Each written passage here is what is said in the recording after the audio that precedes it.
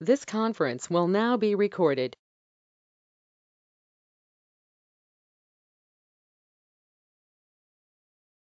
Hi, everybody. Welcome to Anne Ortelee's Weekly Weather. My name is Anne Ortelee. I'm an astrologer here in Boca Ciega Bay, down in Florida. Flew down on Tuesday, um, almost unpacked. Right. Movers haven't brought their stuff yet. 33 boxes, including six boxes of Christmas stuff. Uh, but I am settling in and uh, up and running. Again, got the computer running, which is always a good sign. Welcome to the weekly weather for the week of December 4th through the 11th. This is an over the bounds, out of bounds extravaganza week. We have Mercury, we have Venus, we have Mars, all out of bounds. We have Pallas Athena, we have Lilith out of bounds. And so what an out of bounds planet is, is when it goes above or below the declination that the sun travels. Sun goes up to 23, 27, Tropic of Cancer, goes down to 23, 27, Tropic of Capricorn, above and below the equator. And when the planets go past that degree, they're not following the sun's rules anymore and they go to the sun and they do whatever they want. That's why it was a little wild last week. It'll be a little wild this week because we are having an out of bounds extravaganza, which is always a fun time because it encourages us to take a chance and look at the world in a new way. All right, so we had the Grand Mutable Cross last week. It is finishing up this week as Mercury leaves and goes into Capricorn, and Venus leaves and goes into Capricorn, and the Sun will be coming into it. So this mutable cross, of course, has Mars out of bounds, and it has Mercury and Venus out of bounds. So those th three planets are kicking up. Mars is reporting into Mercury because he's in Gemini. And as he does, Mercury out of bounds is a little wild. Now, Mercury out of bounds is also over the top. Any of us that know Sagittarians with Mercury and Sag, we know that they say things and we know, oh, yeah, that was, what'd you say? They say things and they just kind of get carried away. And I often say to the Sagittarian clients I read, you know, it's always really helpful with this placement if you say to someone, so do you want me to tell you what I think? Because most of the time they're going to say no, no. And then you just sit there and raise your eyebrow at them. Hmm? And they know what you think. So Mercury and Sag is frank speaking, frank talking, and also making choices because grand crosses, mutable crosses, are all about making choices. You can see it's a big cross. It's also a big square. And so that we had that last week. We have it this week as Venus and Mercury finish that square, forming aspects to Mars and then to Neptune and then to Ceres. And then they both shift into Capricorn this week. And then the sun comes through because he's in Sag too. He's just moving a little slower. So he comes along and accents these planets and activates them. Uh, so first up, Mercury enters Capricorn here, and we see that happens on Tuesday. Now, when Mercury goes out of Sagittarius, he leaves behind wonderful Jupiter as his boss in Pisces, and he goes into Capricorn, meaning he's now going to be reporting into Saturn in Aquarius.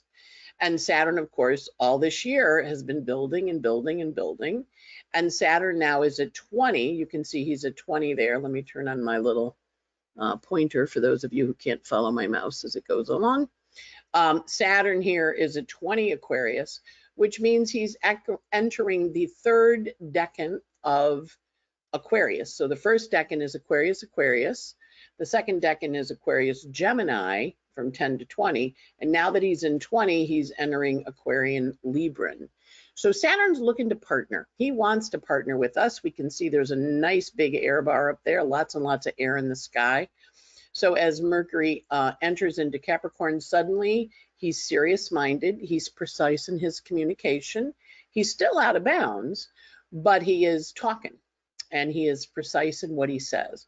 So Mercury in Capricorn is a sign that tells you what it thinks. And when it does that, it means it and it doesn't change its mind. And if it does change its mind, it comes back and it says, I changed my mind. Mercury in Capricorn does not ghost people. It tells them exactly what it thinks about them. And Mercury's in a very direct communications format this week, which we're going to see immediately following him entering Capricorn um, when he is sesquiquadrate uh, Uranus on a world point. This is also called sesqui square. So we see Mercury here, there he is in Capricorn on a world point, and we see Uranus in Taurus also on a world point. Now the world points are where things happen that everybody notices. Can't miss it. So Mercury here in a sesquiquadrate to Uranus is words, announcements, things being said or done that make everybody go, what? What did you say? What, what did, what did, wow. We also see moon here in Gemini on a world point. It's not really going to be something that can be misinterpreted.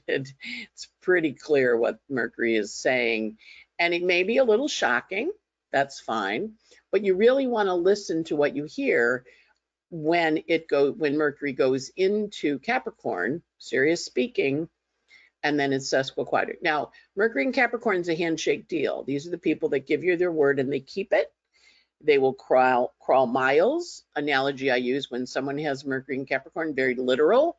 And I use the analogy of it's kind of like a dog that goes to the local store and gets you the newspaper and some cigarettes. Every day the dog goes to the local store, brings $10 in its necklace and its wallet on its neck and brings you home the newspaper and the cigarettes. You move 500 miles away. You open the door, you send the dog out because you know there's a store in the corner. Dog goes out to the store, doesn't come back. You go down to the store and the guy goes, nope, no dog came in here.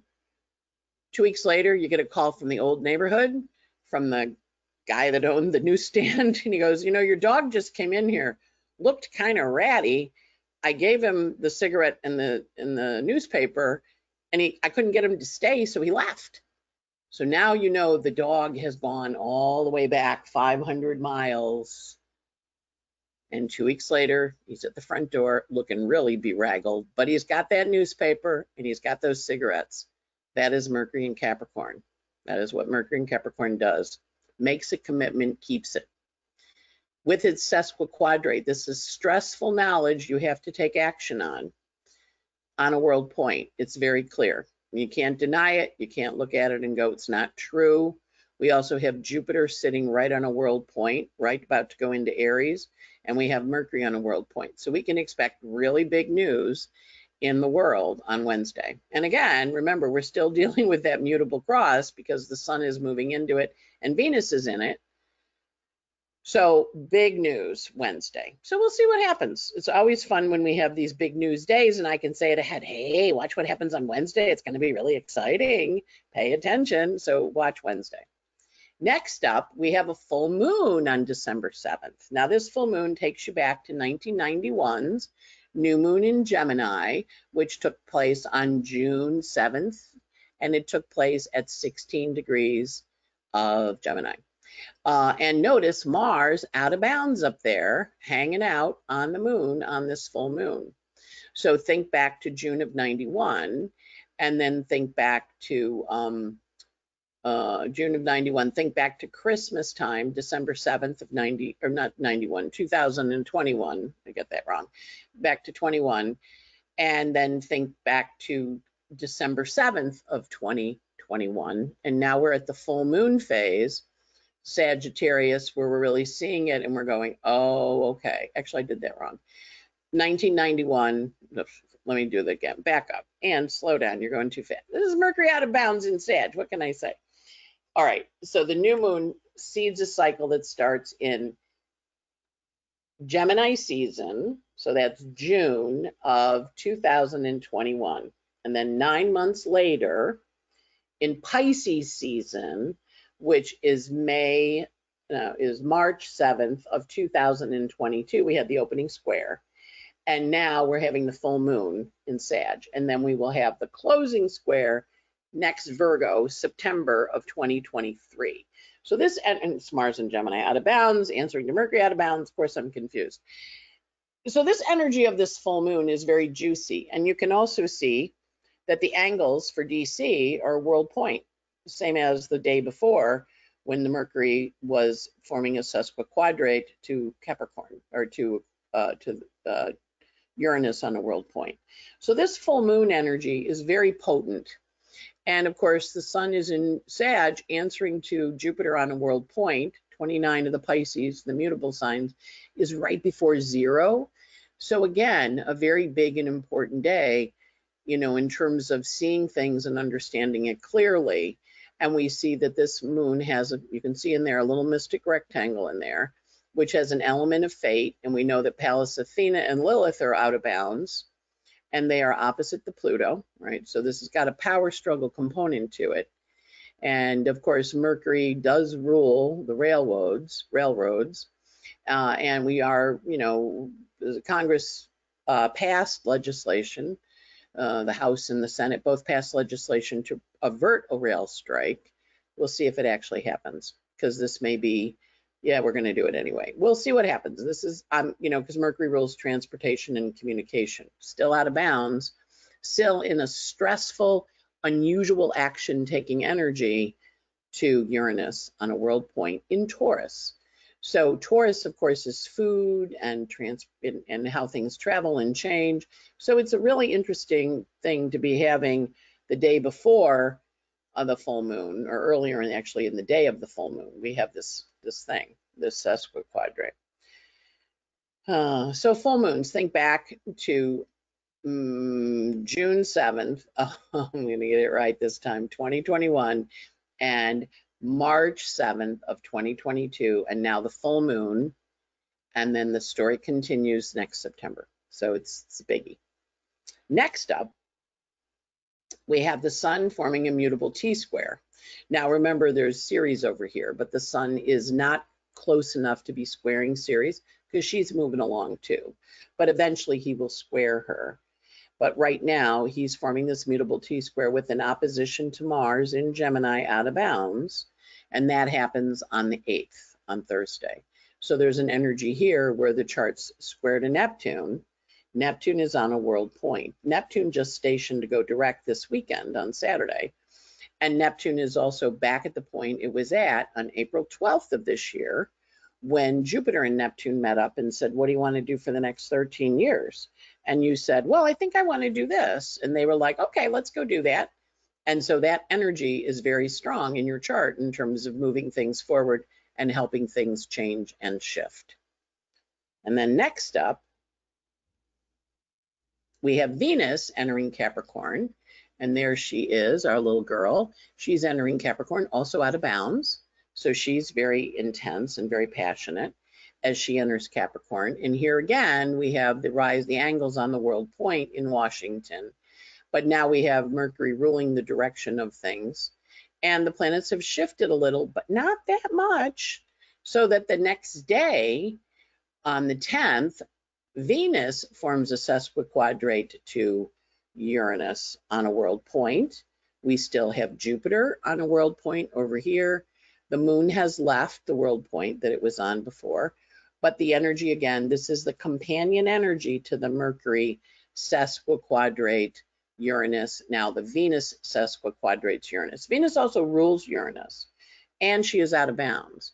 So there's a very intense, passionate energy involved in the sky right now around our decisions, our choices, and our directions. That's part and parcel of this change energy. And as Jupiter here hangs out, right about to shift, he shifts on the 21st into into Aries, Aries for 12 years, starting a new 12-year cycle. We're in wrap-up mode. But this also with sesquiquadrates, they have a stress, but you have to take action. Or there's an action that's taken that can cause some stress. I'm, I'm good with either of them. But again, Venus has now moved into Capricorn, and she too is answering to Saturn in Libra's decan. So he is kind of saying, So what are you committing to, girlfriend? And she's like, Well, Saturn, you know what I'm going to commit to. So the planets are committing. Remember, we were talking about you didn't have to commit, you, you just kind of explore options, think about things. Now they're stepping forward and they're saying, you have to commit now. You have to commit. And so the energy is, what am I committing to? Remember, Mars is still retrograde. So the commitment options can be this, that, or the other thing, but you're making a plan. You're going, I'm committing to this, I'm committing to that. I think I will commit to that. I don't know about that anymore, but I want to do this. So that energy of stress around change also. And so this is also an opportunity to say, you know, I think I'm going to leave. I think I have to leave. I think I have to change this up because Uranus is on the north node, inviting us to change, to take the action we've been talking about and thinking about for the last two years while Saturn and Uranus squared each other, getting us ready for this next 20 years that we began in December after COVID hit, December of 2020. So the energy of the chart sky is really interesting this week.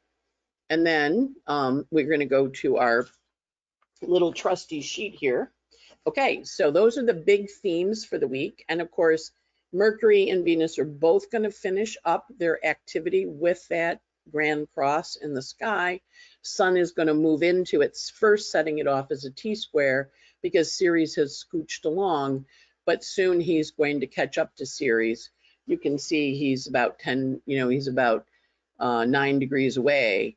Um, so he's going to catch up to Ceres, but that will be next week. So this week, the sun is going from uh, 12 Sag into 19 Sag. So planets in your chart between 10 and 19 are going to receive an aspect from the sun in the sign of candles. So there's a nice energy there around, okay, how do we move this forward and create this new chapter?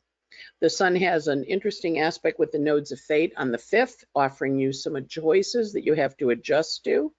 He has a square to Juno, uh, which is changing his partnership dynamics. That's going to happen on the 7th. He also has a quincunx to Uranus, which is making him change his approach. I didn't put that in, but that quincunx takes place on the 7th also. So that's the um, that's kind of an important boof, kind of a pop energy there. And then we also see, um, you know, as we're moving forward, the sun, the energy of the sky wanting us to expand ideas. Sun is opposite Mars, setting off that, moving into that uh, mutable cross. That happens on the 8th. And then at the end of the week, on the 10th and the 11th, he has some biquintiles to the North Node in Pallas Athena, encouraging him to come up with some new plans. He also commits to some kind of power energy on the 10th, on the December 10th. Mercury this week runs from uh, 26 Sag to 6 Capricorn, moving pretty quickly. As I mentioned, he enters Capricorn on December 6th. He has um, a hard aspect to the nodes of fate on December 5th, asking him to make some adjustments. His last square, he has a square in, in Sagittarius. He squares Jupiter in Pisces. That takes place on December 6th. And it kind of pushes him into a new relationship with Jupiter. Remember, Jupiter's on a world point here. So as Mercury squares him before he goes into Capricorn, he says to Jupiter, well, you know, this is what I'm I'm saying, adios, bye-bye. It's a closing square. So it's a psychological integration that Mercury is going to have, and that will happen as he squares Jupiter. Then he enters Capricorn, as we mentioned, on the 6th. He has that weird aspect to Uranus on the 6th, on the evening of the 7th, morning of the 7th. Unusual news you didn't expect, perhaps a bit shocking and then probably a bit shocking, frankly. And then uh, he has biquintiles to Juno uh, on uh, the 9th of December, and then he has a semi-square to Saturn, which is stress around the structures of things. And then he has a sextile to Vesta, changing homes and hearths at the end of the week. So he's going, as I mentioned, from 26 Sag into zero all the way up to six. Any planets between 26 and six are getting activated by Mercury. Right on his heels, Venus. So she has a square to Neptune on December 4th, and she has a trine to Eris, the goddess of discord, on the 5th, which Mercury had last week. And then she has a square to that takes place on December 7th, setting off that mutable cross.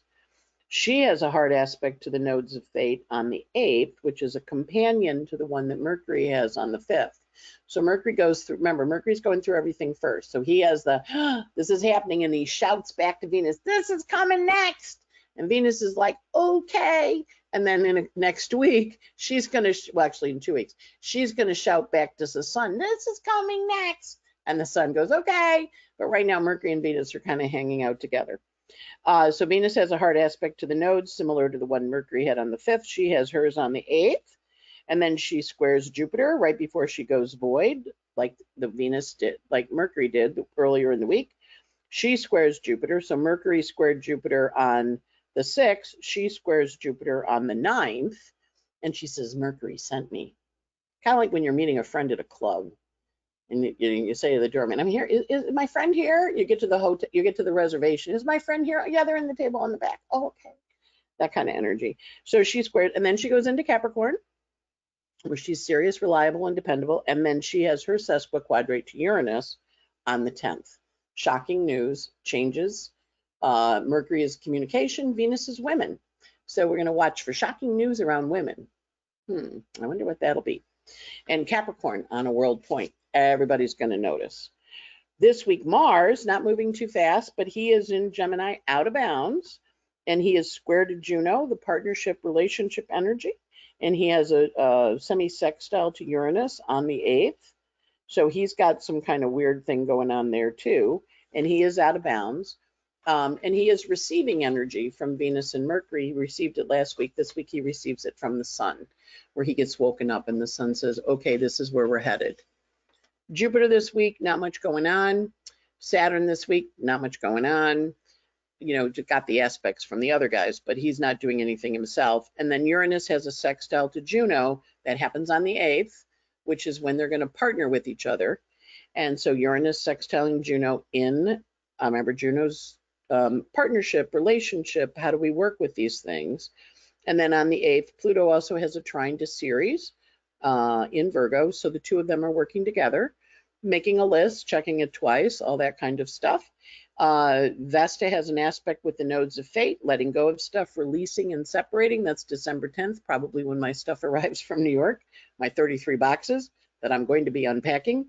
And then on the uh, 11th, Ceres has a hard aspect to the nodes of fate. And so that's the energy for the week. Not particularly stressful, but with the planets out of bounds, unexpected things, and with the um, those weird little Mercury Uranus kind of shocking endings or shocking changes or shocking news. And the whole thing with Uranus is you never know quite what it's going to be. That's why he's so much fun. And then right behind Mercury, Venus steps up and she goes, "Oh, okay, I'm here." And then, you know, in a in a few weeks, we'll have the sun go through that whole thing also. But it won't be on the world point at that point. It'll be off into other lands. So on to our moon phases. So today, on the 6th of, I gotta go into December, I'm still in November. I was gonna say on the 6th, it's daylight savings time. I'm like, nope, I'm in the wrong month. Uh, okay, on the 4th of December, today the moon is in Taurus and Monday also, and it goes void at 2.02 p.m. on Tuesday, and the moon goes void with a sextile to Jupiter. So moon in Taurus is a lovely moon, working, earthy, reliable, dependable. Goes void, it's void for you know, about an hour and a half, hour and 40 minutes, and it goes into Gemini on the 6th. Mercury goes into Capricorn on the 6th, a little later. So moon's in Gemini Tuesday afternoon from 3:49 East Coast time. Yeah, there's a full moon on Wednesday. On Thursday, the moon's in Gemini, and then it goes void at 1:15, 1:13 in the morning East Coast time. Friday morning, bright and early and it goes void with a square to Jupiter. Think about it. Moon in Gemini squaring Jupiter in Pisces, a little over the top, a little interesting information. What does that mean? Then the moon is void for an hour and a half and it goes into Cancer on the 9th as Venus goes into Capricorn a little later that evening. And so the moon is in Cancer all day Friday, all day Saturday, the 10th, all day Sunday until 149 when the moon goes void with the moon in Cancer goes void with a trine to Jupiter. So that's got nice closing aspects. And then the moon goes void at 1:49 p.m. and it enters Leo at 3:08 on the 11th. And it's in Leo the 11th, the 12th, and goes void on the morning of the 13th with the trine to the sun. So the aspects this week are good. The Gemini moon is a little overspendy, you know, because it's moon Mars and it is uh, Sun and Sag. So you can overspend or overbuy or overdo. And the closing aspect of the moon in Gemini is a square to Jupiter. And there have been reports this year, everybody's really Christmas shopping a lot. So, you know, if you find yourself spending a little bit more this week, it's in the heavens. Not your problem. The, the stars made you do it. Actually, they didn't. They didn't compel you. They impelled you. You, you could have made a different choice. So no worries there if you do spend a little more. Not a lot of hard aspects this week. Um, the difficult days are uh, probably Tuesday. just because it's turbulent, Tuesday the 6th, it's not like hard aspects, but it's bumpy. You know, it's kind of like when you go over some potholes. Um, a little bit shocking on the full moon because of the opposition. The full moon happens at 11:08 p.m. and night. You know, so it's when you go out and look at the moon at 11:08 p.m. or you know your own time at night, you'll be able to see that full moon. And the moon, of course, meets up with Mars. So that's action day. Uh, and then the the Thursday the 8th, not bad. Friday is busy and a little stressed. Okay, we'll deal with it. Not, again, not a horribly difficult day. The energies aren't particularly difficult this week. They're decision making. And then again, adjusting energy that we have on the the 10th, because the moon in Cancer is forming a quincunx to the sun and to Saturn um, in, the, in the day. So it's forming a little quick finger of God there. Again, you know, it's over the course of the day. So it's first adjusts the sun, then it adjusts to Saturn. Again, not a bad one kind of shifting. And then uh, Sunday is nice, you know, good aspects. Moon's opposite Pluto, you know, but that happens every month, not too big. So again, good week. We'll take it after the last few weeks of change, change, stress, stress. Ah, now we're in, oh, really? That was happening? Oh, cool. I can work with that.